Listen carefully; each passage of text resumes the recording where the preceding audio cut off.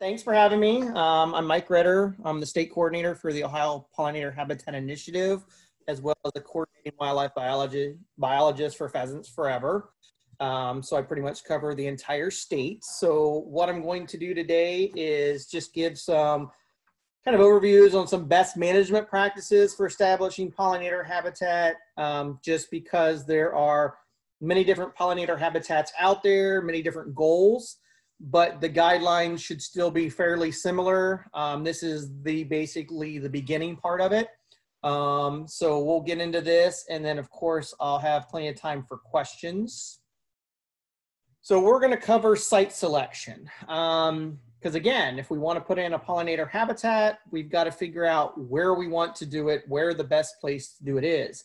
Just because I have an area doesn't always mean it's the best option.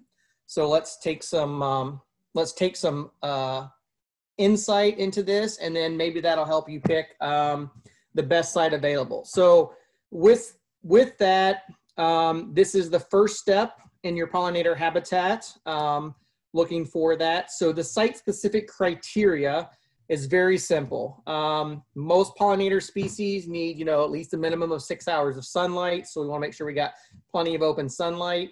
Um, is there existing vegetation, vegetative cover or not? Uh, what's the topography? Uh, because different slopes, whether it gets an uh, evening sun or a morning sun, or if it's north or south, can kind of change things or dictate potentially what species you're having, or because of the conditions. Um, soil characteristics, uh, offsite or adjacent land cover, uh, and then the other ones will be planning design, size, shape, and maintenance considerations, because this will all go into how you're going to prep it, what species you're going to do it, and then how you're going to maintain it long term. So it's very important to make those thought process and considerations up front because um, you don't want to put something somewhere that's very very difficult to get to because then you won't be able to perform the maintenance the maintenance when you need to do it. Um, for example, you don't want to put it in an area that may be locked by crops or by certain activities that you can't get to it uh, anytime that you need to. Sun exposure. Why is it important? We talked about, uh, mentioned that the six hours of sunlight. Um, it's going to keep those areas open, dry, warm. Um, pollinator habitat is very beneficial with bare ground uh, for a lot of our ground nesting bees. So that sunlight is also important uh, for them to keep their nest uh, warm and dry um, and to get the biggest bang for the buck. Uh, slope and aspect, mentioned a little bit about this. Uh, north facing slopes are always going to be cooler and wetter than south facing slopes. Same thing with west facing slopes are going to be, you know, typically warmer and drier than your east facing slopes just because of sunlight uh, and the topography that they're getting. Uh, we want to look and see what existing vegetation is out there because that is going to lend into what site preparation methods we look at. It doesn't always, it doesn't mean that one side is better than the other, but we just want to make sure that we look at those considerations. And what those are is what is the growth habitat um, of the species present? Is it a cool season? Is it a warm season? Um, because we need to know what those what those plans are out there so that if we're going to remove them or we're going to manipulate them in some way, um, we need to know the best time to do that. Um, are they herbaceous or are they woody? Is this an annual, a biennial, or perennial plants? Because that's all important based off of our method of that's going to be the next half of this discussion would be the site preparation. Annuals, you'll do treat them one way. The same thing with biennials or or potentially even the long-lived perennial um, plants that we do not want in this. Or at the same time is if this is more of a restoration where you have some beneficial plants, we want to know what's there so that we know what's the best methods that we can remove the unwanted stuff without harming uh, the good stuff. And when I talk about cool season and warm season, that's just essentially the growth pattern. Um, a lot of our natives are, are I would consider more on the warm season, especially our middle and late season growing um, natives. A lot of our native warm season grasses um, are in this category. They typically peak in that June, July, August, September range, whereas cool seasons like lawn or turf grass, you get that early growth early in the year. in the summertime like now that's why our lawns are green are brown from the from the drought and this time of year they don't do very well but then they'll pick back up here um, in august and september and even later in the year. So that'll all determine on that existing vegetation what we do. So those evaluations that are out there you're going to need to evaluate it. So you can also look for all those undesirable noxious weeds. Oops sorry. Undesirable noxious weeds um, because depending on what species are there, uh, we may need to look at uh, multiple years worth of, of removal of that plant before we actually do our planting so that we don't have uh, any of the issues from those invasive plants. Adjacent land use. What the neighbor has is very important, especially if they're on your south and west side of your property or your area that you want to pollen or build your pollinator site because our most dominant wind is out of the southwest and why a lot of our natives or a lot of plants around can spread through rhizomes or through the soil majority of our problems are windborne. So if you plant adjacent to something and they have issues on that side of the fence over time you're going to have those same issues. So sometimes we are addressing adjacent land issues even before we start our pollinator habitat, or we move our pollinator habitat to an area that will not be affected as heavily by what is adjacent um, to our property. Because again, over time in succession, whatever's next to your poly- pollinator habitat site, that's what's going to want to move in. Um, so at least you get a better understanding of what your potential risks are, what your potential invasives are, um, whether they're noxious or not, um, because succession is typically um, the biggest thing that we fight. The design, size, and shape. Um, these are very important again because we have to look at what's what are we going to be doing, how are we going to manage it. Um, do we is it going to be round? Is it going to be square? Is it going to be oblong um, how big is it going to be? Uh, the size can can affect whether we're going to be able to do stuff by hand or need equipment.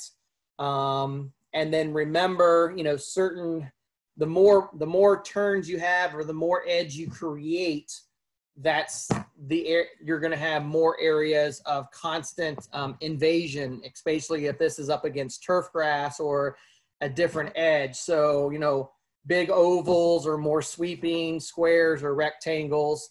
Um, but if you have lots of, of bendy areas and, and contour type stuff, uh, you're going to be fighting a lot of edge potential um, invasion. So we just want to make sure that we're, we're thinking about that. It doesn't mean that it can't be done. But again, these are all little things to think about because I don't know how many times I've heard people say, if I had to do it again, I would do this. And that's what we're just trying to to get in that uh, thought process so that people understand. You definitely want to want to want to want to think about it. Doesn't mean that it can't be done. Uh, just means that you may have some more intense management than you know if you chose a different a different shape or a different location. But um, it doesn't deter you one way or the other. Okay, so now we're going to get into the site prep. Um, and I'm just going to stress that 99% of all failures, whether it's pollinator habitat or prairie restorations, fail because of the lack or inadequate um, amount of site preparation. Um, I don't care what you want to plant out there. If your site preparation is done incor- incorrectly or inadequately, um, it doesn't matter what you put out there. You're not going to get the desired effect, or you're going to have a lot of increased main, maintenance, management. You're always going to be fighting it. And, you know, in my field where I work with, you know, large corporations, statewide agencies, um, golf courses, businesses, things like that, we look at pollinator habitat because by planting natives uh, and doing these long term restorations, it can be a cost savings for them because of the management. It's not mowing it seven or 10 times a year. We're typically addressing these once a year, once every other, or even once every third year, depending on where it's at and what those pressures are. Um, so if we don't do this site prep method and we don't do it correctly, and they're in there multiple times year after year after year, um, the benefits to them on the financial side go away. Uh, even though those environmental ones are there, um, they may not be as realized if we have lots of invasives. So really pay attention to your site prep. Um, it's it's worth spending the extra time, the extra to make sure that you're starting with something correctly uh, so that you can get something um, exceptional at the end. So the three P's we talk about with pollinator habitat establishment is planning, plan ahead. That's what we're doing. We're, we're looking at those site conditions, those areas. We're trying to figure out what size or shape I'm going to use and, and make sure I've got it in the best location that I've got out there. I'm going to look at, you know, figure all this out to develop a, a management plan or a site prep plan, my species, and then my management. So I want to have that all thought out of what's available to me as far as equipment or time or labor, because that may depict or dictate what size I do. You know, if I only got enough time and effort and can only handle a, an eighth of an acre or a quarter of an acre or a small pollinator garden site, um, I don't want to go out and put five acres of habitat in and, and not be able to manage it um, and then always be fighting something or, or not happy. Patience. Native plants are not, uh, you know, even though we'll design mixes and, and we'll create annuals and we'll do things to try to make them as showy as we can, um, you know, in those first couple years, these things take time. Um, our native plants and our pollinator, most of our wildflowers that we use have anywhere from five to 20 foot root systems. So they're going to build, they're going to be doing a lot of building under the ground and out of sight uh, in those first couple years. Uh, you have plants, depending on what you choose in your mix, that you may not see uh, in, a, in a planting until the fourth, fifth, or even later uh, years uh, in a planting just because of, of how it's set up and, and how those plants react and, and they do it. So a lot of times we'll we'll put species in mixes because we want them to cycle through. They're, they're placeholders, if you will. Uh, we know they're only going to last a year or two, but we want those there while the other ones are setting their feet and, and getting ready to grow. So be patient. Um, you know, there's that that adverb or there's that saying for perennials. You know, the first year they sleep, the second year uh, they creep, and then the third year they leap because that's basically that that process of them setting their feet and their root systems before they really become robust and, and really start to start to take over. And then persistence. Um, you, you know, while while native habitats are being planted because of a lot of benefits. I mean, there's there's several from uh, several environmental benefits, with financial benefits, aesthetic benefits um, you know, you do need to be persistent with them because again, any any habitat that's set there to be designed, there's going to be you're constantly staving off uh, natural succession, and that succession can be from the grasses if you decide to use them in the mix, wanting to become thicker and thicker. Um, for those of you that have planted or, or dealt with, uh, you know, purple coneflower, if you put it in a small bed, it becomes very aggressive, and a lot of times it, it just it moves everywhere.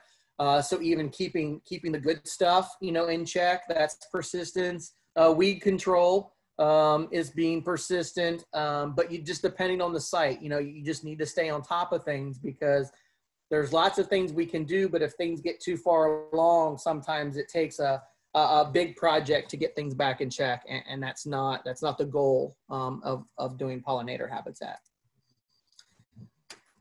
So again, um, it depends on what's out there on the site. Um, sites with with minimal weed pressure, following like a soybean crop, a, a bare field, things like that, is going to take very very little site prep. Uh, you know, just maybe one application of, of a herbicide. Maybe it doesn't even need that. Um, whereas there's other heavily vegetated sites, say ones that have been lawn or turf grass, or even have uh, you know honeysuckle or autumn olive shrubs on them um, it's going to take some time um, to work to work on those to get them to where before we would uh, even decide to plant the the first pollinator um, flower seed. Things to remember: um, no two pollinator sites are exactly the same. Meaning, once you get into this process, we we base our decisions off of what happens. And we have lots of experience and came guidance but you really do never know how it's going to react and what's there. Um, I, I, will say is i've never found a, a, site or a situation that we couldn't fix or couldn't deal with but there have been many ones while i'll give you a template and an outline and we have some job sheets and we have some of that guidance and i've got the website at the end of this that you can use as your outline and your template because the process the process is the same. It's it's how your site reacts to that process uh, that can be slightly different um, from from site to site. They can range in size from a few square feet or a few hundred square feet to several hundred acres. Um, and we've done them all, and that, depending on that size, is is going to dictate which which method you decide to do. Um, and then understandably, if you have a small pollinator garden of a, you know, a few square feet or a few hundred square feet, more than likely is going to get a lot more care because it's going to be probably in front of a house or a business, a school, a church, anything like that, where it's going to have lots of eyes on it. People are going to, going to, going to occupy it. Whereas if you have a large field, you know, yes, you'll be able to see it, but you're not covering every single, you know, square foot of it, you know, all the time. So uh, keeping that at, keeping that in mind uh, through your planning of what you're going to do and how you're going to do it. So we're going to talk about small sites. So if we have areas that are you know less than an acre, um, sol solarization is, uh, is, a very practical way. It works very well um, to get some of this done. It just is not practical on very very large sites um, small strips um, in your yard, along a fence, in front of a business, thing like that. That you know that that potentially could either be a pollinator garden or a pollinator habitat. And we'll talk more about the differences later, um, I'm sure through questions. But um, those are different things to consider, and um, solarization works works really nice. Um, here, here's a picture of, of doing some solarization. So remember is the process of this is you depend the area that you want to do. You mow it very short, get rid of anything spiky that could poke a hole in your plastic uh, or any noxious invasive seasons that may be out there to get ready to go. You want to water everything because remember, we're basically going to make this like a little mini greenhouse. Um, so we want to be able to address address what's out there. Um, we're we're trying to stimulate that seed bank because we want to get everything that's potentially going to be a problem later on all that seed to germinate and grow and die off so that when we decide when we're done with this and we put in the perennial plants that we want to keep we're not constantly fighting that seed bank at least the seed bank that's that's there. It doesn't mean stuff won't blow in. So you're looking at covering this with with with with some heavy millimeter uh, plastic uh, two four i've seen even six or eight um, but the key thing is solarization is clear plastic, not black plastic. That is a completely different method. That is essentially shading everything out. Um, that's a different method and a different process. It has, to me, in my opinion, has a lot of problems. Uh, so if we're talking about best management practices, the clear plastic, for the reasons that I mentioned about, we're trying to stimulate the growth of every seed that we possibly can that's in that seed bank so that we get it removed. So we're really trying to almost essentially start with a sterile area um, that we're going to put our seeds in that we want, and that's all that's going to be there. That's the thought process. And you want to make sure that you tie down all the edges. You don't want the wind to catch it and to blow it. Um, otherwise, you'll have some major issues. Um, it says wait six to eight weeks, checking intermittently, intermittently. Essentially, is you'll be able to watch this. Everything will turn green. It'll turn white and then it'll start to turn brown. Um, and essentially, as soon as that happens, you're going to go through and remove all of that vegetation, like with a rake, um, and pull it off. And to me, this is like the the directions on a shampoo bottle: rinse, or uh, you know, rinse, what, rinse and repeat essentially. You want to try to do this two or three times throughout the growing season. So if you start this in late may to early june when temperatures get up um, about every 30 to 45 days you're essentially redoing this process. So you once you rake everything off you rewater it you put it down um, because we'll talk about this later. Our, our, our, ideal time to plant our natives is during the dormant season. So you're essentially got all summer into early fall to do this. Um, the more vigilant you're you're on this, the better the result. The more sterile of an environment you're going to go into, and a better result that you're going to have. So maybe you don't do solarization. You just got an area. You can treat this almost like a garden. So you can hand pull. You can use tillers, hose, stuff like that to remove the vegetation to get out there. Um, if it's small enough, I mean, we, we've we've seen little pollinator way stations being done at the edges or along walkways and things like that. Uh, it's it's definitely practical um, in that size and those methods. So essentially, it's the same process you're doing with a garden. You're typically trying to remove, you know, anything that you have out there that's not wanted or undesirable. Um, you just want to make sure you get all the roots and just not pulling at the top because out of sight, out of mind does not work for invasive species, they quickly become back into sight. Um, and so once you remove all those, get everything ready to go, um, we're, we're basically at that same process. It, it's usually going to take you a few times during the summer uh, and, and when things are growing. And remember that, that growing chart of cool season and warm season, we have both cool season and warm season annuals uh, in Ohio. So just because you do something early in the season you're going to have to do it multiple times because things will keep trying to come back. Larger sites. These are our bigger sites. We're, we're probably talking, these are going to be more like pollinator habitat or prairies or, or meadows. Um, these are, you know, these are our large sites that we're typically going to use equipment, um, potentially contractors or, or neighbors or farmers, or if you have the means yourself, um, that's great. But typically these are those, those bigger areas. Um, I'm just going to come out and say it. Tillage does not work. Tilling an area does not work whatsoever. Um, it essentially just replants everything over and over and over again.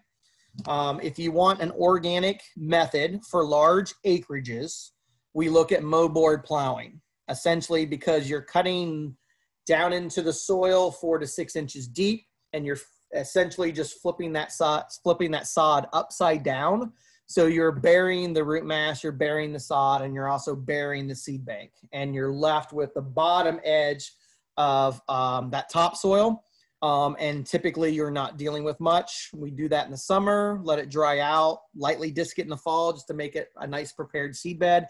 And then we're ready to go with our dormant season. So um, there is an organic organic option for large acreage, but tillage, meaning tilling or disking, is not it. So um, sites with uh, woody vegetation, um, understanding um, I am, we use herbicides all the time, um, and we can have this discussion here in a few minutes. I'll, I'll go into some reasons why, but um, herbicides done with the, at the right rates, with the right herbicides and the right methods are very practical, especially on large sites.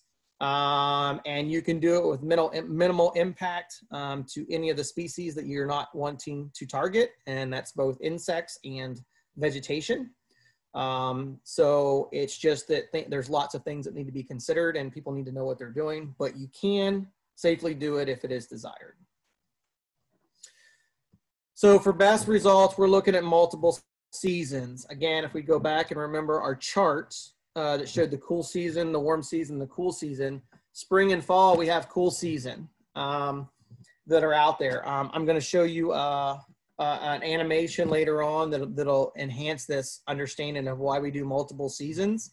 Um, but essentially, spring and summer, we only get suppression. We don't remove anything permanently because of their growth patterns. Uh, fall is when we get our control. So we want to do uh, at least three seasons of, of control if you're going to choose to do the um, herbicide methods.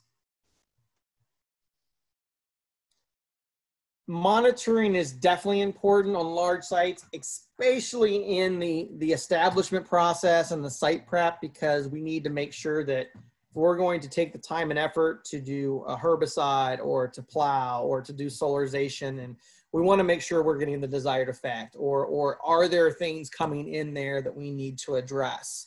Uh, do we need to switch up if you're using herbicides? Do we need to switch the chemicals that we're using? Do we need to do something at a different time?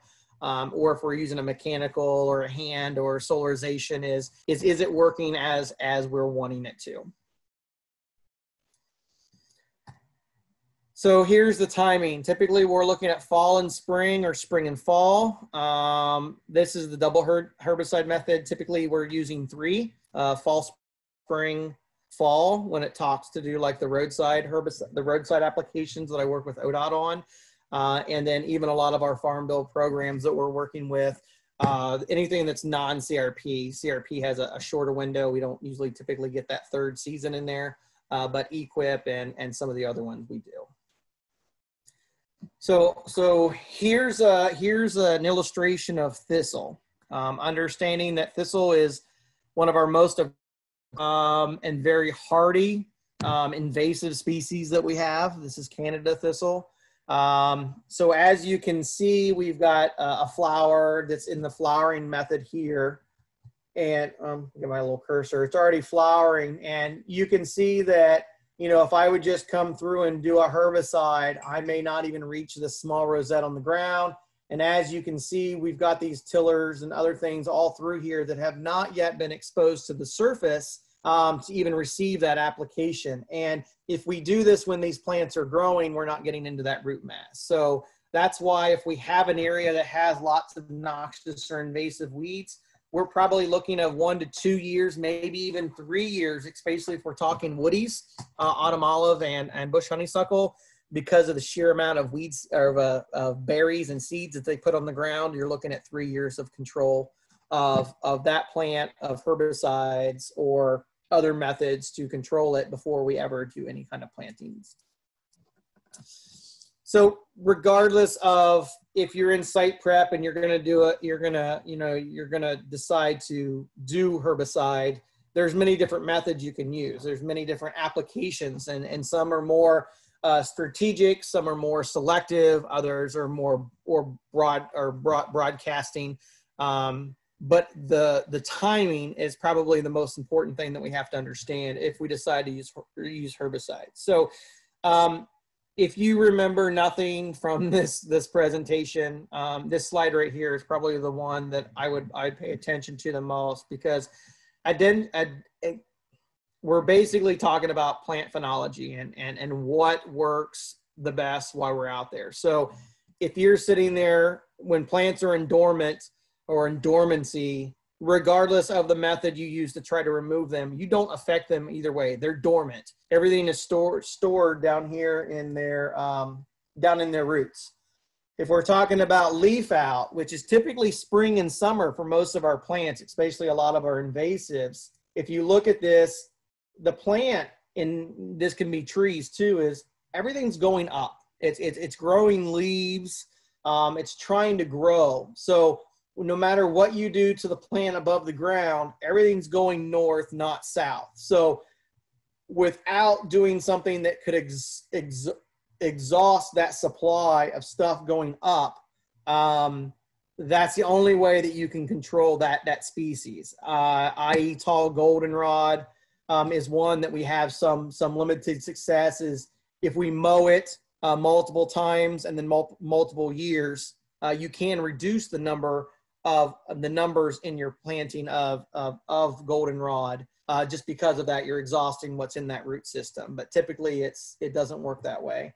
Flowering and fruiting. So remember, plants are you know in the game to reproduce, to produce seed, to put on the gown, so that there's more of those to go on. So until they produce fruit and go through their finish out their reproductive cycle, they're typically moving things from the ground up. Um, and so a lot of that is you may suppress the plants, but typically you don't get control of the plants. So again, spring and summer. So when things begin to go in senescence after flowering reproduction, typically in Ohio, this is late September to October, even early November. This is when the plant starts taking that food that it has or, or making the food through photosynthesis and sending it down into the root systems for the dormant period this is when we have the greatest effect on plants as far as controlling them and removing them. Um, this is the best time to mow woodies uh, because you're, you're right after they reproduce, you're going to mow them off before they are able to re restore their root systems for winter. So if this happens a couple times, you can you can also reduce woody stems. So mowing it in the spring takes a tree into a shrub. Mowing in the fall, you actually do get some kind of long-lived control. Uh, typically, you can stress the plant, um, stress the tree, but most of our plants, when we're talking herbicides, 90%, there's definitely some that we have to dress at other times, but most late fall applications are the safest uh, because when this senescence happens for our natives, it's much earlier than when it happens for our invasives. So our, our native plants, typically August, September, shutting down. Um, and then our most of our invasives are actively growing into October and November. Um, so we can actually apply herbicides uh, during this time period for invasive species and a lot of cool season species and not even touch or hurt our natives whatsoever.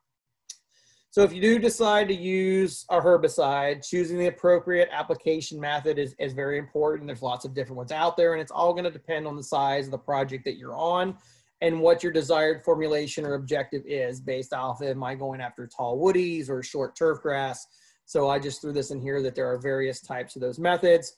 Here's just an idea, it doesn't really matter. Um, they're all over the place on what you use most important thing is to make sure we're calibrating. It doesn't do us any good to go out there and dump a bunch of chemicals um, that aren't getting to where we need them to go. Um, or we want to make sure that if we're going to do this herbicide, we only have to do it the minimal amount of times that we have to. So we want to use the maximum rate um, at the right time. And then we're not out there doing this multiple, multiple, multiple times throughout a year um, limiting our potential impacts, um, both environmentally um, and then also on, on the vegetation and or the, the insects that are out there.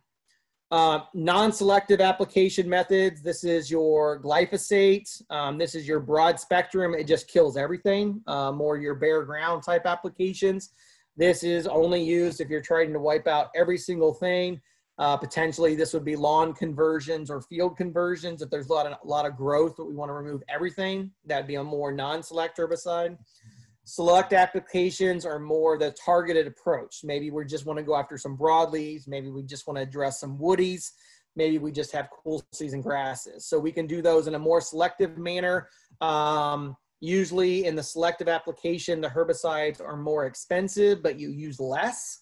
So in a lot of times it's about the same cost or even cheaper to use a selective herbicide, especially if you're going to use a, a backpack sprayer and just do spot spraying, um, things like that. Because again, we want to make sure we're using, if we're going to do this method, we want to make sure that it's, that it works. Uh, avoiding drift is important. We want to make sure that we're only affecting the areas that we've designated that need affected based off of what we're doing. So avoiding drift is important thing. We need to consider that um, professionals to do this or taking into account um, weather conditions um, because the higher the temperature um, and the lower the humidity, a lot of times you can get things more vol- volatility, meaning they'll move more on you um, because of that heat. So there's definitely some times that when you can look at this to be the most effective.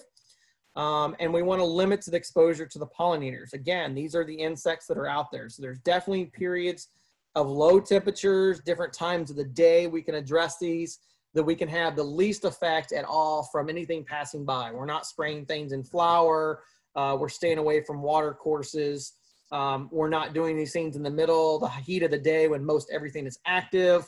Um, and then, you know, then a lot of other reasons why, you know, we're out there, you know, trying to do these. So you, there is a safe way to do it if that is the method that is needed for that site based off of size or species or what's out there. So um, with that, I'm going to go to my last slide, which is just my information.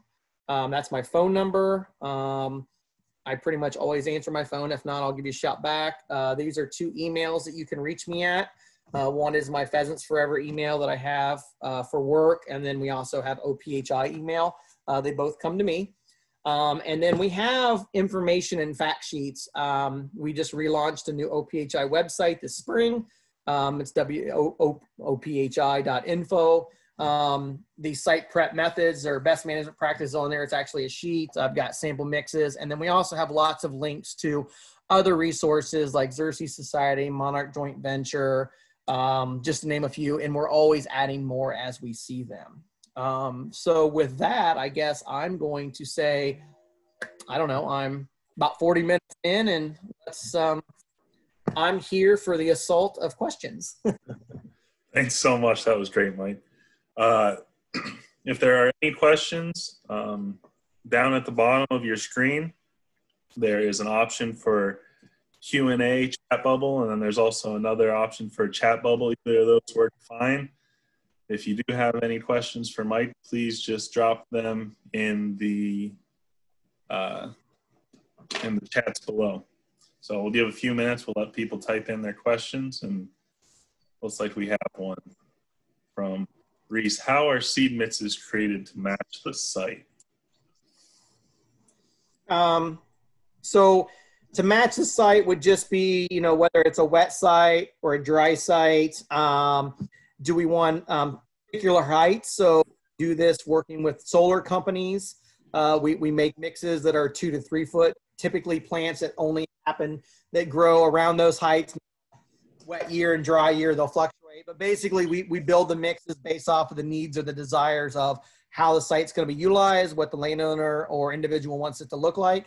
And then also, are there any particular benefits in certain areas? Are there any host species we need to consider? Like up north, you know, do we put in lupin for the Karner blue butterfly? You know, we're, we're adding common, uh, we pretty much have swamp milkweed in all of our mixes because they, you know, common and swamp can occupy a lot of times. And then even though it says swamp, uh, you know, just wet spots in the field, sometimes we'll have swamp milkweed. Um, so really just, it's just based off of the soil conditions of the site, um, dry or wet, and then really the desired look or the outcome or what the targeted species or approach is. Um, we do, you know, you can do custom bean mixes that have a lot of clovers or legumes in them because some of those early things are really needed. These hives go on, or we'll add a lot of species um, and, and, folks that are have hives like a wing stem and a lot of asters so that we can make uh, happy bees to kind of get them, you know, to nice, nice rated weight, weight, weight to get them through winter. Um, so there's there's a lot of things that go into those those mixes and um, on on how they're doing. Um, there's we we have basic mixes that pretty much cover all the bloom periods. It can be done anywhere in the state, and I and I out there is um, my philosophy designing seed mixes and what we have available through Ohio through Pheasants Forever, and then I do mixes for the Farm Bill programs and a lot of the state agency is it's like a pizza. The cheese pizza is our standard pollinator mix. It's really good by itself. It covers all the basics. It has everything that's needed out there. But depending on your locality and if you have something that you want to look at is then we start adding the toppings, you know, whether it's pepperoni pizza, supreme, meat lovers, uh, we can really add in those other species and combinations to get those desired effects. Awesome. All right. Do let's see. We have a few more questions. Someone said, "What services do you provide to landowners?" Um, so, me personally, the OPHI, we we have like technical assistance. So, um, we can talk to landowners. Um, it depends on the size of the site and where we're at. Um, I've got 83 partners around the state. Um, Pheasants Forever has 12 Farm Bill biologists and other coordinating biologists in the state. Uh, Division of Wildlife has, I think, six private lands biologists now. And then we also have Wildlife Service has three partners biologists, as well as Soil and Water Conservation District. Some of them have wildlife specialists. So we have a lot of people around the state that we can help match up or, or get a landowner to someone because – there are a lot of programs out there like farm bill programs or potentially other ones or or different counties have different programs that we can match them up to to to get what they're done. So if you have questions what to do and how to do it it depends on where you're located whether i can do it but either way um, we definitely get you in contact with someone that can you know look at the property and give you suggestions because you know the, the motto for ophi is you know all you can where you can. So i mean every little bit helps and we want to help you get that uh, get the desired effect that you want and then those pollinator benefits. Great. Uh, there's another question. What type of grasses do you normally recommend for pollinator plantings? Yeah so um, native grasses are are used in a couple different ways in pollinator planting. So typically we use native grasses for structure and because they have hollow stems that you'll get a lot of you know, larvae or eggs where those insects will lay them, and that's how they spend the winter into the next spring. Um, but there are also some native species like um, prairie dropseed, for example, that is a beneficial pollinator grass itself. Um, typically, the grasses that we would use are like little blue stem. Uh, I'll use side oats, prairie dropseed. Um, really, any of the drop seeds are good. Um, I use switchgrass because we only use Blackwell in Ohio, which is a short growing. It's not the real tall, nasty stuff. Um, and then depending on the site, sometimes we will use cool season grasses like Timothy and Orchard. Um, we'll also use Purple Top, uh, Wild Rye, the cool season native. It just really depends on the site condition, um, where it's located and what the desired effects are. But really, I would be easier to tell you you just don't want to use Indian grass or big blue stem because they are in Ohio, one of our natives that can become very aggressive and take over a stand very, very quickly. Interesting. And looks like there's one more. What programs are there for Ashtabula County? Yeah, so it depends on the size of it and kind of what you're doing, but um, every county in the state, EQIP Wildlife, it's a farm bill program that's available through US, uh, the U.S. Department of Agriculture. Um, it's administered by the, the Natural Resource Conservation Service. So where your service center is, um, in each each county, um, depending on the acreage, and and there's there's some other thing other hoops you have to jump through. That's one that's available throughout. Um, I don't know if the local soil and water district has any cost share. Some different ones do, but most of it would Ashtabula would. Uh, we definitely have you know we have technical assistance that we can give everywhere. Um, um, and we have roadside we have got roadside projects up in Ashtabula County there um, that that we've done. So, but yeah, mostly technical assistance, but there are farm bill programs in all 88 counties, um, just depending on on size. Yeah, if anyone else has any questions on you know the EQIP program or or how to get involved on that, you can contact my office. You can contact the Farm Service Agency as well, and we would uh, definitely get you in the right direction and see if if that's a good fit for you. Um, doesn't look like there's any other questions in the chat box. We'll give it one more minute to make sure everybody, uh, maybe someone's trying to type something out right now, but uh, if not, looks like uh, there's no more questions. But I'd like to thank you again, Mike, for uh, a great presentation. And I want to remind everybody that you should be being redirected to a site um, with a uh, survey for today's presentation, and we would appreciate the feedback, uh, how we can improve, what topics you want to hear about next time. Um, couple, couple more questions. It should only take a minute or two of your time, but we appreciate everybody for joining us tonight, and uh, we'll see you next week for the last presentation. It's going to be a good one, uh, so make sure you tune in next week. Thanks again, Mike.